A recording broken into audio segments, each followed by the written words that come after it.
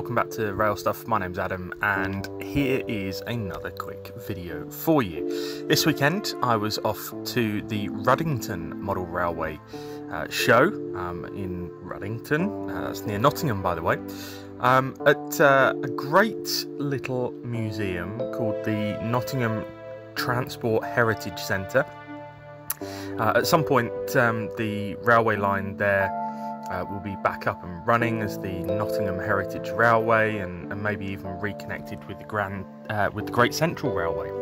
Um, so yeah, it's a really fascinating place to take a wander around. They've got buses as well as trains, um, miniature railways and model railways as well, uh, and a great little venue for a model railway show. So I was pleased to be there, um, and as always, I took some time to take a wander around and do my standard shaky hands recording uh, of all of the kind of scenics and lineside details uh, that were visible on the layouts there.